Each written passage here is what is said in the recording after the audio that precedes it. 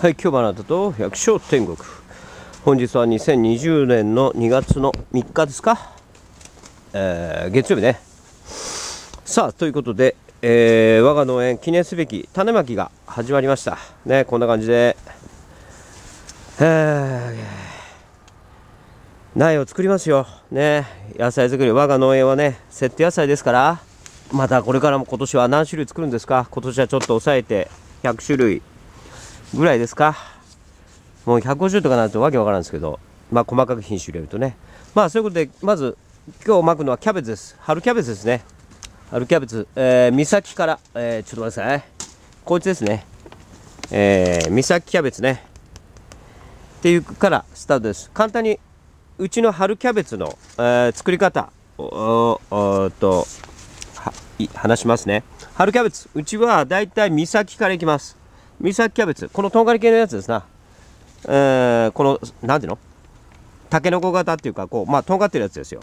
ね。もう最近よく別にどうってことないですよね。普通のやつですよね。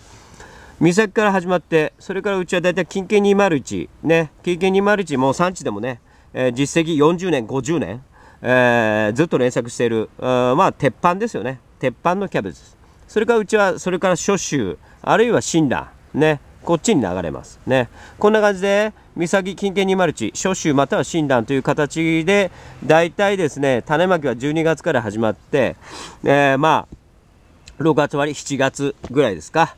やっぱりその塚農園の塚原さんもおっしゃってください。7月の終わりのキャベツっていうのはどうしてもとろけてくるんですよね。だからまあできれば7月半ばまで引っ張りたい。ね。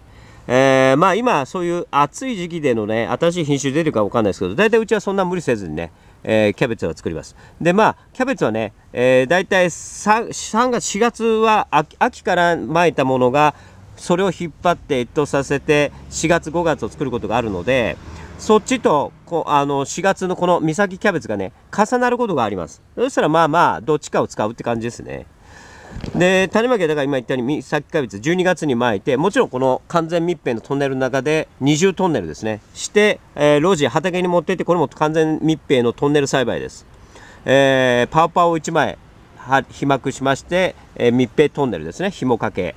これが10、えー、と植えるのが、えー、畑で植えるのがだから2月とか1月ですかやっぱね。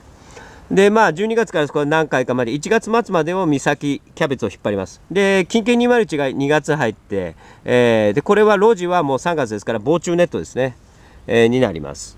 あまあキャベツは春キャベツはうちはトンネル栽培をだから何十本もやらないですね。23本ぐらいですか。密閉トンネル。そして穴開きトンネルも使います。それでずらしていくんですね時期をね。で初秋診断これは完全なる防虫ネットのみですね。えー、うちはパワーパワーは使いません、パワーパーはやっぱ蒸れるので風を落とすことが大事ですからできるだけ防虫ネットでこうね、えー、段ボールを貼って防虫ネットを入れて風を抜けさせてできるだけ蒸れないように虫が来ないようにね、えー、いたします。そんな感じですね、えー、春キャベツおすすめ品種三崎近景201初秋新蘭。初秋がいいのは例えば初秋なんかが一番特徴だ。とにかく柔らかいですこれはね。初秋より柔らかいキャベツってちょっと今私はそこまで詳しく調べてないけど私が栽培してる中で初秋は鉄板に柔らかいです。美味しいです。近景201、えー、極めて作りやすいです。ね。近景201はもう、えー、産地では本当に、えー、実績40年50年あるので。であとまあ新蘭も作りやすいですね。ちょっと新蘭硬いんですけども熱くなってきてとろけにくいのは新蘭の方です。初秋は美味しい分だけ病気に弱いです。ね。その辺ご注意を。でまあ三崎はねとにかくこの寒い時期にこうとんがりになってきてねすごくこう、えー、可愛らしくてそれでねまあ食味最高ですよ。三崎はね。その辺の春キャベツの話をしました。さあ種をまかんといかんですよ。まあ新規収納してね新規収納してっていうかこちらやってきてね。えー、いろいろ道具が揃わなくて道具がねハウスの中入ってるんですよちょ誰か来たんで。以上でした。はい。